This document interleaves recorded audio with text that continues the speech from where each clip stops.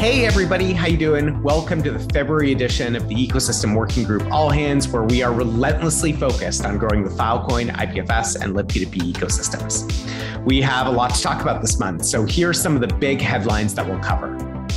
We crossed 330 awesome startups building on IPFS and Filecoin, a growth of over eight times since the beginning of 2021. The ETH Denver Hackathon was a great success, where 23% of all hackathon submissions used IPFS and Filecoin.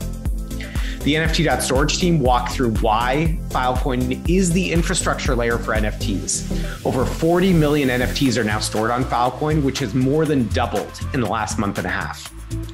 We announced that rclone support is now available for Estuary, which seamlessly enables large data migrations to Filecoin from all of rclone supported providers.